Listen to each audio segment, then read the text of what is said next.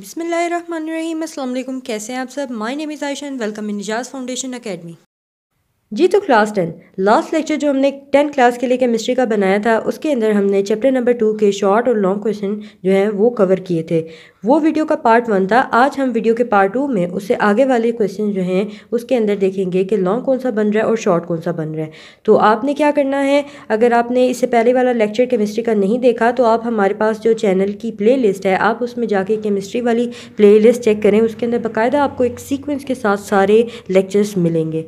और अगर आपने अभी तक हमारा चैनल सब्सक्राइब नहीं किया हुआ तो हमारे चैनल को सब्सक्राइब करें और बेल आइकन पर क्लिक कर लें, क्योंकि हम डेली बेसिस पे मैथ्स के भी लेक्चर्स जो हैं वो अपलोड करते हैं, उसके अलावा फ़िज़िक्स, केमिस्ट्री के निशान भी लगवाते हैं। जी तो क्लास आपने बुक का page number twenty five open करना है। ट्वेंटी थ्री तक हम सारे जो हैं वो निशान लगवा चुके हैं। इसमें शॉर्ट कौन से थे? लॉन्ग कौन से थे? अगर आपने वो नहीं देखे तो आप हमारे चैनल की प्लेलिस्ट में जाके केमिस्ट्री वाला जो सेक्शन है वहाँ पे जाके देख सकते हैं। आज हम स्टार्ट करेंगे पेज नंबर ट्वेंटी फाइव से।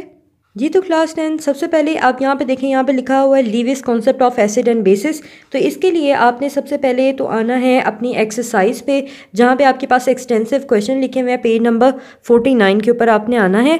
और यहाँ पे आप देखें लॉन्ग क्वेश्चन नंबर टू आपके पास लिखा हुआ है explain the Lewis concept of acid and bases ठीक है, ये वाला क्वेश्चन जो है, इसका आंसर आपको मिलेगा कहाँ पर पहले आप निशान लगा लें, ठीक है, फिर मैं आपको बताती हूँ आपने क्या करना है। आंसर आपने शुरू कहाँ से करना है? यहाँ से। जी एन लीविस 1923 से लेकर ये आपके पास जो है ना इंट्रोडक्शन होगा। यहाँ पे आपने यहाँ से लेकर यहाँ तक जो है पहले इंट्रोडक्शन लिखना है, ठीक है? यहाँ से वैसे आपका लॉन्ग क्वेश्चन नंबर टू यहाँ से स्टार्ट होगा। उसके बाद आपने शुरू करके यहाँ से एंड पे लेकर आना है और यहाँ तक आपने ला के इसको एंड कर देना है।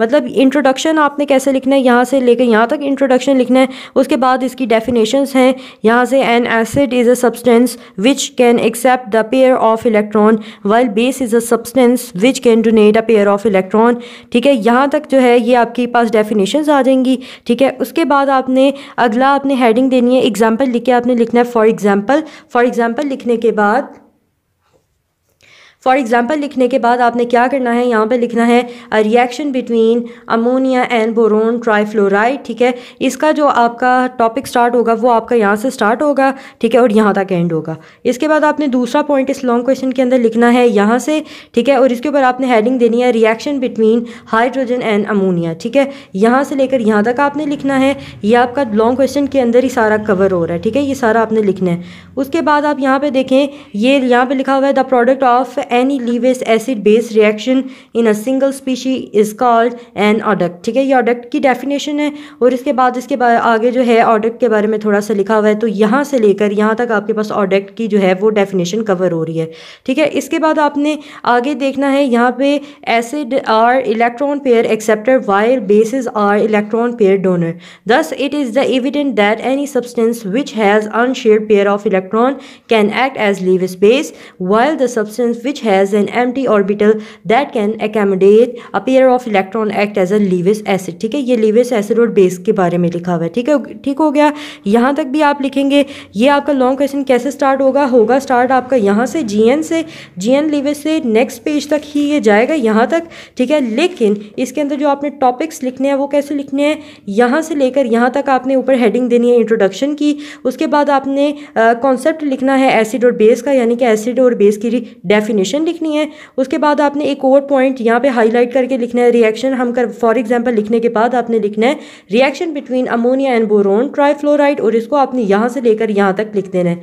इसी के अंदर आपने अगली हेडिंग इसके ऊपर देनी है। Reaction between hydrogen and ammonia यानी कि H positive and N H three ठीक है? ये वाली हेडिंग देने के बाद आपने क्या करना है? यहाँ से लेकर यहाँ तक लिख देना है। उसके बाद आगे आपने हाईलाइट करके लिखना है। अडक्ट के बारे में आपने लिखना है। अडक्ट ठीक है? उसके बाद आपने इसकी डेफिनेशन लिख देनी है और इसके बारे में थोड़ा सा लिख देना है। ये आपने पैराग्राफ्स की शक्ल में जो है ना आप कह लें, लिख देना है और बहुत अच्छा लगेगा जब आप इसको हाईलाइट करके हर चीज़ को मैंशन करके लिखेंगे, ठीक है? उसके बाद यहाँ पर आपके पास ये आ जाएगा लिवेस बेस और लिवेस एसिड के बारे में, ठीक है? ये आपने ऐसे ही पेड़ जो है उठा के लिख देना है और अगर आप यहाँ पे पैराग्राफ जो है आपने ऐसे ही लिख देना है, ठीक है? उसके बाद अगर आप देखें, ये हाईलाइट उन्होंने इसीलिए इसीलिए किया होता है क्योंकि इसके अंदर मेन बात लिखी होती है, ठीक है? बाद अगर आप यहाँ पे देखें, यहाँ लिखा हुआ है examples of Lewis acid and bases are given below तो ये जो आपको आगे नज़र आ रही है लीविस एसिड ये लीविस एसिड की एग्जांपल्स हैं, ठीक है? ये आपने उठानी है, यहाँ से ये आपको अलहदा से भी आ सकता है और इसके अंदर आपने लाजमी लिखना है, ठीक है? ये आपने यहाँ से शुरू करना है, यहाँ पर आपने हेडिंग देनी है लीविस यहाँ पर नेक्स्ट हेडिंग जो आपने देनी है, वो आपने यही वाली उठा लेनी है, यहाँ से लेके यहाँ तक, ठीक है? इसको आपने आगे से लिखना है Lewis acid according to Lewis concept the following species can act as a Lewis acid तो ये ये आपके पास दो पॉइंट लिखे हुए हैं, ठीक है? ये दोनों पॉइंट आपने मेंशन करने हैं। उसके बाद अगली आपने हेडिंग देनी है लिविस बेस इसको हाईलाइट करके आपने लिखना है, ठीक है? कि ये लिविस बेसिस की जो है एग्जांपल है according to the Lewis concept of the following species can act as a Lewis base तो आपने ये दो पॉइंट लिखे हुए हैं, ये दोनों पॉइंट यहाँ पे लिख देने हैं और इसके साथ ही आपका जो लॉन्ग क्वेश्चन है वो कंप्लीट हो जाएगा, ठीक है? उसके बाद ये ना नीचे आपके पास लिखा हुआ है summary of of the concept ये सारे जो आपके पास आरहेनियस का कॉन्सेप्ट था ब्रॉन्स्टेड लॉरी का था लिविस के था, ठीक है? ये सारा उन्होंने ना आपको एक समरी बना के दी हुई है कि आरहेनियस के मुताबिक जो है एसिड हमें क्या देता है बेस हमें क्या देता है और इनका प्रोडक्ट हमें क्या देता है? ब्रॉन्स्टेड लोरी के मुताबिक हाइड्रोजन क्या डोनेट करता है, क्या एक्सेप्ट करता है और इनका कॉन्जुगेट एसिड पेयर का जो है वो प्रोडक्ट निकलता है। उसके बाद लीविस के बारे में था कि ये इलेक्ट्रॉन पेयर एक्सेप्टर होता है और इलेक्ट्रॉन पेयर डोनर भी होता है और ये इनका जो प्रोडक्ट होता है वो अडक्ट होता है, ठीक है? तो ये आपके पास एक समरी उन्होंने दी हुई है, ये आपने अच्छे से याद रखनी है। इसको अगर आप याद रखेंगे तो आपके दिमाग में ये चीज़ कंफ्यूज ही नहीं होगी कि किसका इलेक्ट्रॉन पेयर एक्सेप्टर था, कौन इलेक्ट्रॉन पेयर डोनर था, कौन हाइड्रोजन को एक्सेप्ट कर रहा था, कौन हाइड्रोजन ऑक्साइड को जो है वो दे रहा था। यानी कि ये सारा कुछ आपके जो है ना दिमाग से जो है वो स्किप नहीं होगा, ठीक है? तो आपने क्या करना है? ये वाला जो है, ये समरी आपने अच्छे से जो है याद रखनी है। जी तो क्लास, इसके बाद जो इसमें लिविस कॉन्सेप्ट ऑफ़ एसिड के अंदर जो आपके पास शॉर्ट क्वेश्चन आ सकता है, वो ऐसे आ सकता है आपको कि लिविस कॉन्सेप्ट के मुताबिक एसिड क्या था बेस क्या था? ये दोनों डेफिनेशन आपको आ सकती हैं, ठीक है? इसके अलावा ये आपको रिएक्शन आपसे पूछा जा सकता है कि लिविस कॉन्सेप्ट के अंदर जो एसिड और बेस का जो कॉन्सेप्ट था, उसके अंदर जो आपके पास रिएक्शन हो रहा था अमोनिया का और बोरॉन ट्राईफ्लोराइड का तो इसके बारे में आप लिखते हैं तो आप यहाँ से लेकर यहाँ तक लिख सकते हैं। ये आपको दो नंबर का भी शॉर्ट आ सकता है, ठीक है? उसके बाद आपसे ये पूछा जा सकता है कि जो आपके पास लीवेस का कॉन्सेप्ट था एसिड और बेस का, उसके अंदर जो हाइड्रोजन और अमोनिया का रिएक्शन हो रहा था, उसके बारे में लिखें तो वो आप लिख सकते हैं। बाद जो अगली डेफिनेशन होगी, वो आपके पास अडक्ट की होगी, ठीक है? तो वो आपने यहाँ से लेकर यहाँ तक लिखनी है और यहाँ तक भी आप लिख देंगे तो आपके कोई मार्क्स जो वो कट नहीं होंगे, ठीक है? तो आपने अडक्ट की डेफिनेशन प्रॉपर ये लिखनी है, उसके बाद थोड़ी सी इसकी एक्सप्लेनेशन यहाँ तक लिख देनी है तो ये आपके दो नंबर कवर हो जाएँगे, ठीक हो गया? उसके बाद आपके पास जो है एग्ज़ाम्पल पूछी जा सकती हैं लिवेस एसिड की और लिवेस बेस की तो आप ये वाली लिवेस एसिड की पूछेगा तो आपने यहाँ से उठा के तो यहाँ तक लिख देनी है next page page number twenty तक, ठीक है? अगर बेस के बारे में पूछेगा लिवेस बेस की एग्जाम्पल्स के बारे में पूछेगा तो आपने यहाँ से लेकर यहाँ तक लिख देना ठीक हो गया? उसके बाद इसके अंदर आपको शॉर्ट कैसे आ सकता है, ये उन्होंने आपको समरी बना के दी हुई है, ठीक है? सारे जो आपके पास कॉन्सेप्ट हैं ब्रॉन्स्टेड लोरी का, फिर आरहेनियस का और यहाँ पे लिविस का तो ये आपको शॉर्ट के तौर पे भी आ सकता है कि आपको पूछेगा कि आरहेनियस के मुताबिक आरहेनियस में एसिड क्या होता है बेस क्या होता है, इनका प्रोडक्ट क्या होता है तो ये आपको अलहदा दो नंबर का भी आ सकता है, ठीक है?